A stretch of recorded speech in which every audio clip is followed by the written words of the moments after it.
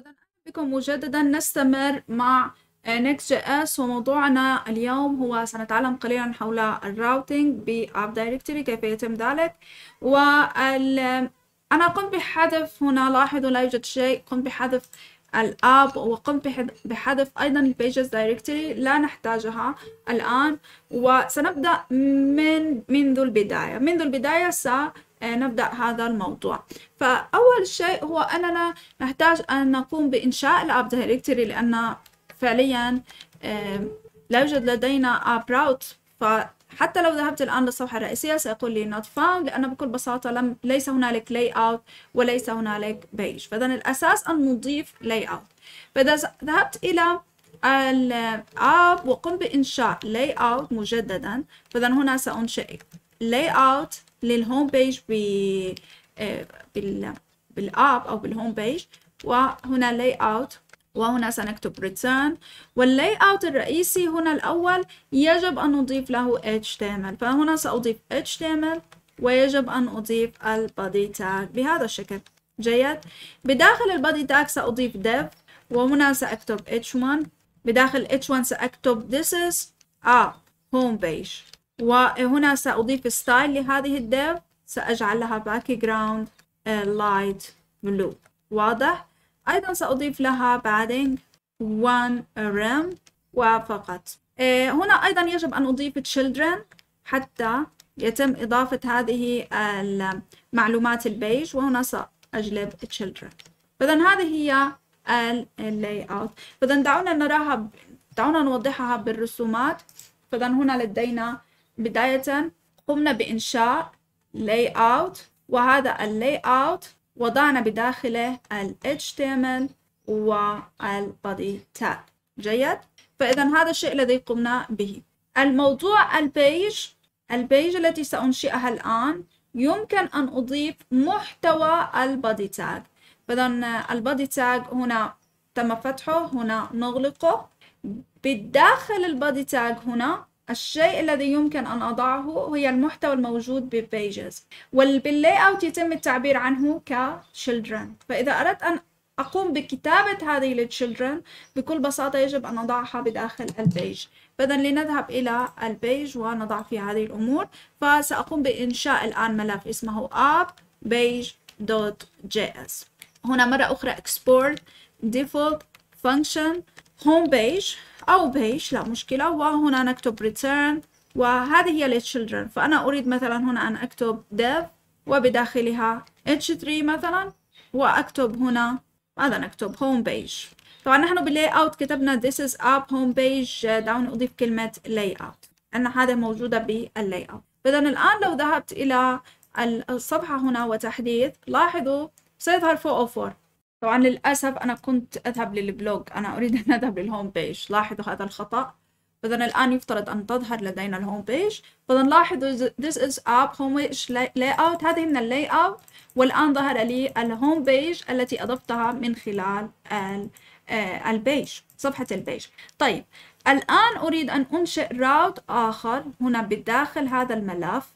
وهذا ال route هو أن يكون أن يذهب إلى ال dashboard.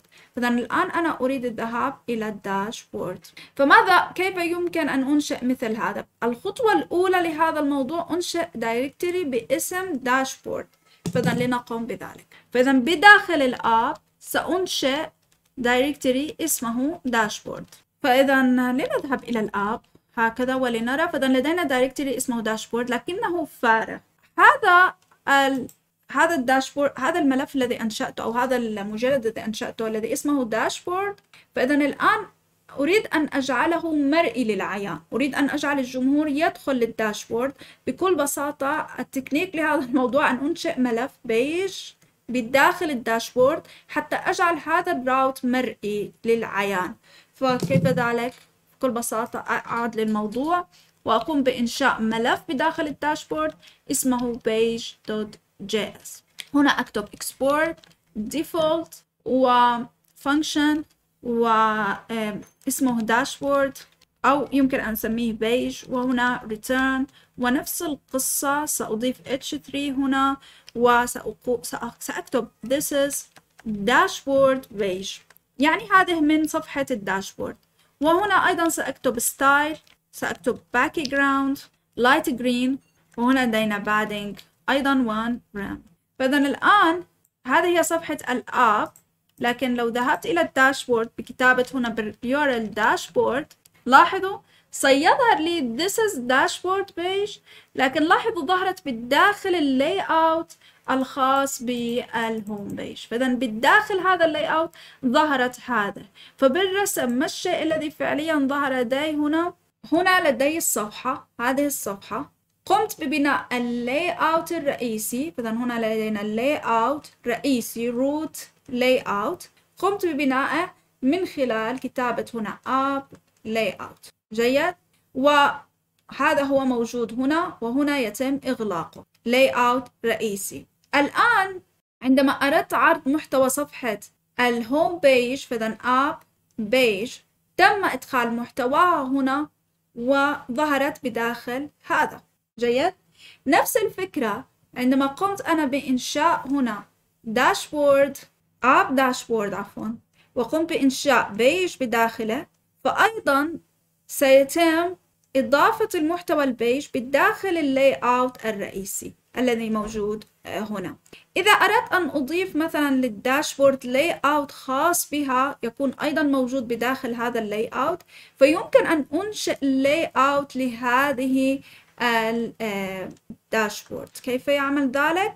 فإذا لنرى فإذا سنعود إلى هنا ونقوم بإنشاء داشبورد layout .js هنا سنكتب export default function. وهنا layout طبعا هذه layout خاصة بالداشبورد وهنا سنكتب return. سنكتب هنا div h3 هنا سنكتب this is dashboard layout. هنا سنكتب style. سنضيف background مثلا light yellow. وسنضيف بعض من ال padding one rem وهنا سنضيف children. وهذه ال children سنأخذها من ال layout من هنا. إذا الآن لنرى النتيجة على أرض الواقع. فإذا لاحظوا الشيء الذي سيحدث. بداية هذا هو ال root layout ثم ظهر لي ال dashboard layout وبالداخل ظهر لي محتوى page dashboard فكيف تعمل الأمور إذا ب Next JS هل يمكنكم معرفة ذلك؟ فإذا لنوضح هذا أريد أن أوضح لكم مفهوم ال layout وال pages من خلال هذا الدرس. فكن صبورا معي. إذا مرة أخرى هذه هي الصفحة الرئيسية. لاحظوا أول شيء أقوم به هو أن أبني ال layout الرئيسي. ممتاز. فإذا هذا هو ال layout الرئيسي. يبدأ هنا. فإذا أبدأ root layout.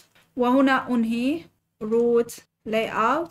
ومحتوى صفحة الرئيسية. حتى أجعل الجمهور يدخل الصفحة الرئيسية علي أن أنشئ صفحة page محتواها سيكون بداخل آه، سيكون بداخل ال layout الآن كل صفحة أنشئها بداخل ال app مثلا أنشأت app dash و page أيضا محتواها سيكون بداخل هذا ال layout لكن إذا أردت أن يكون هنالك تكون هذه ال dashboard محاطة ب layout آه، مختلف أو محاطة بشيء محدد ليس مختلف فبكل بساطة أقوم بإنشاء هنا app dashboard layout وعندما أدخل هنا الشيء الذي سيحدث سيصبح هنا لدي dashboard layout وهنا سيصبح لدي إغلاقه.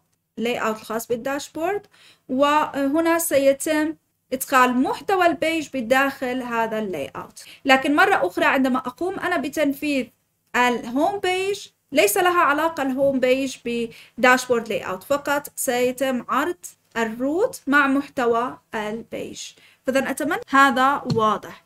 فإذا الآن إذا أردت أن أبني route يكون dashboard وثم مثلا login علي أن أبني login folder مجلد بداخل dashboard ويكون بداخله page التي فيها محتويات ال login فإذا مرة أخرى إذا أردت القيام بذلك فبكل بساطة لنرى ال app إذا هذا هو ال app سأقوم بإنشاء مجلد اسمه dashboard login وبداخل dashboard login سأقوم بإنشاء page dot JS فإذا الآن export default function و أو هذه ال login page وهنا return. ونفس القصة سأكتب div h3 هنا سأكتب login page وسأضيف هنا أيضا style color.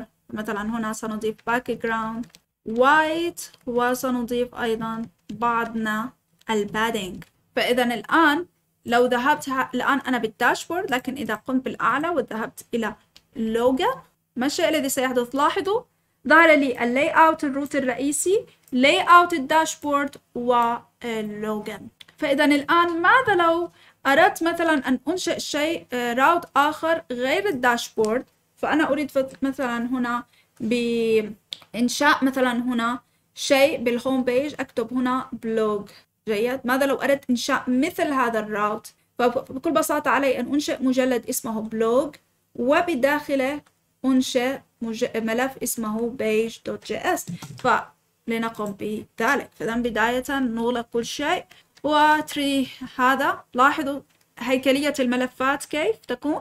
فإذا سننشئ مجلد هنا اسمه blog وبداخل ال blog سننشئ ملف اسمه page.js لجعل هذا ال route آه، مرئي.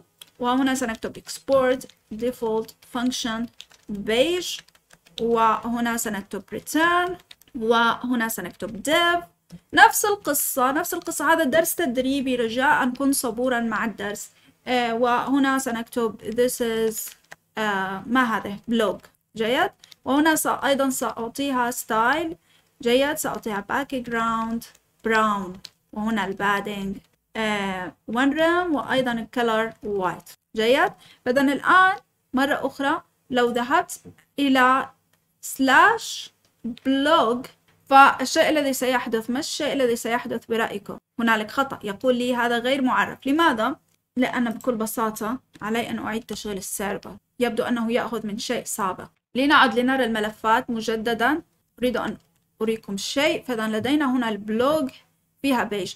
لاحظوا في السابق آه، قمنا بإنشاء layout لل blog. والآن يقول أن هذا ال module not found. هذا الشيء يحدث فعليا لأن ما زال يأخذ من شيء قديم. شيء مكتوب مسبقا ويأخذ منه. ولا يوجد خطأ بكتابتنا. الخطأ من طريقة فهم الأمور لهذا. فحل هذه الفكرة عندما تواجهكم مثل هذه الأخطاء بكل بساطة آه، لاحظوا أن هنا يوجد ملف اسمه. dot next ملف مخفي. هذا الملف الذي فيه build next. فأنا أقوم بحذفه جيد وأقوم بإعادة تشغيل ال server. إذا يفترض الآن أن لا يكون هنالك مشكلة. إذا لنرى. فإذا لاحظوا ظهر أمامي. فإذا لاحظوا هذا هو uh, this is uh, app home page و this is blog. لماذا لم تظهر بالألوان التي أنشأتها بها؟ فإذا لنرى. فنعم لأنني نسيت background هكذا يجب أن تكون. فإذا ممتاز. فإذا لاحظوا ظهر لي هذا الموضوع uh, this is blog وظهرت لي بداخل ال route الخاص بال home page ليس لها علاقة ب route ال dashboard إذا أو layout ال dashboard layout ال dashboard يطبق لكل عنصر يأتي من slash dashboard لكن ال blog جاءت من ال home page فلها علاقة بال route ال home page فإذا هذه الطريقة للتعامل معها ال Next بهذا الموضوع. طبعا ربما تقول طيب ماذا لو أردت مثلا أن أجلب ال article الأولى من ال blog فيكون لدي dynamic routing فالطريقة لهذا الموضوع ب Next.js هي التالي.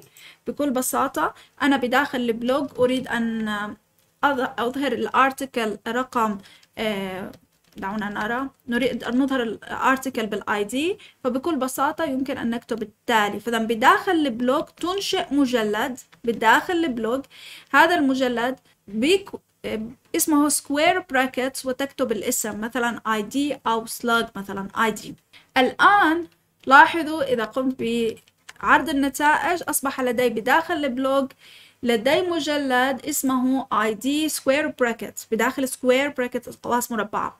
الآن إذا أردت أن أجعل هذا المسار مرئي للعيان علي أن, أن أنشئ page بداخله. فإذا هذه مفهومة.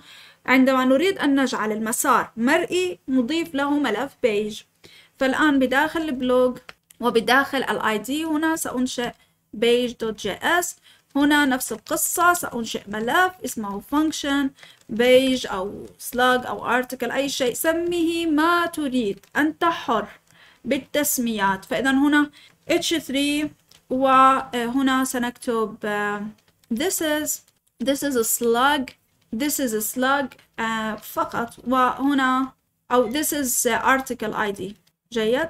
والآن لنرى النتيجة. فإذا الآن إذا ذهبت إلى البلوج هنا. جيد. وكتبت واحد. لاحظوا سيظهر لي الهوم بيج هنا. و this is ال home layout عفوا. وهنا this is article ID طيب كيف أحصل على هذا ال ID الموجود هنا؟ المعلومة الأخيرة لهذا الدرس. كيف نحصل عليه؟ بكل بساطة من خلال ال page هنا يتم تمرير uh, properties ربما نفكر بها. فإذا أنا حاولت أن أقوم بconsole.log لهذه ال props فإذا لنرى ما هي. فإذا قمت بالتحديث هكذا و console لن أجد شيء مكتوب هنا. هل يمكنكم معرفة لماذا؟ لأن بكل بساطة أنا أستخدم ال app directory ال app directory خاص بماذا؟ خاص بال server component هذا ليس ال server هذا هو client فعلي أن أنظر لل server فإذا لاحظوا بال server ظهرت لي النتائج. آه هذه هي ال props التي أنا قمت ب console logging لها وتسجيلها فلاحظوا لديها فيها params هنا التي هي ID واحد وال search params التي تأتي من ال query التي هي question mark وثم شيء. هذا لا يهم. فإذا لدي params هنا يمكن أن أحصل عليها. فبكل بساطة يمكن أن أكتب هكذا. أن يمكن أن نسمي هذه context لا أعرف ماذا يجب أن نسميها؟ نسميها context يمكن أن تسميها أي شيء. فمن هنا سنأخذ ال params من ال context وال ID هنا سنأخذه بهذا الشكل params ID لكن إذا لم يكن موجود سيأتي خطأ فسنستخدم هذا هذه ال question mark فإذا تابعوا دروس موضوعات JavaScript هي عبارة عن فيديوهات قصيرة فيها بعض من هذه ال tricks التي يتم استخدامها لكتابة كود أقصر ولتوضيح الأمور. فإذا لاحظوا الآن كتب واحد. لو كتبت مثلا عشرة سيظهر لي عشرة.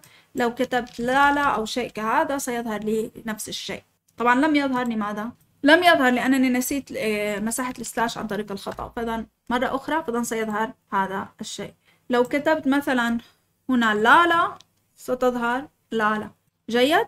فإذا هذا هو بالنسبة لشرح درس اليوم. أتمنى أنكم استفدتم. هذا هو من أساسيات Next.js الجديدة التلخيص وفي التكرار الإفادة. حتى لو كنت أنت منزعج من التكرار في تكرار الإفادة.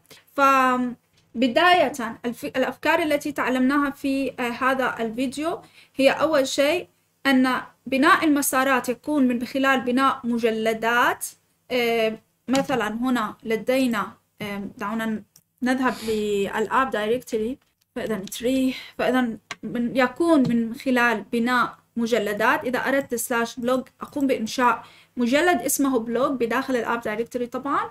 وإذا كان إذا أردت أن أجعل هذا مرئي فعلي أن أضيف له page ويجب يجب يجب يجب أن أضيف layout رئيسي يكون موجود في جذر ال app directory هذا ال layout يحتوي على HTML يحتوي على body tag HTML و body tag وفقط ويمكن أن تضيف طبعا أي شيء لكن الأساسي هو HTML و body tag و إذا أردت أن تضيف layout مخصص لأي عنصر يحيط بأي مسار معين يمكن أن تضيف أيضا layout فرعي. لكن هذا ال layout الفرعي سيظهر بداخل ال layout الرئيسي. فكأنك أنت تقوم بال nesting layout layout بداخل layout بداخل layout حسب المسار الذي أنت تنشئه. فإذا أتمنى أنكم استفدتم من هذا الدرس. وإن شاء الله سنبدأ أعتقد بالفيديو القادم ببناء مشروع الداشبورد. فإذا نلتقي لاحقا. مع السلامة.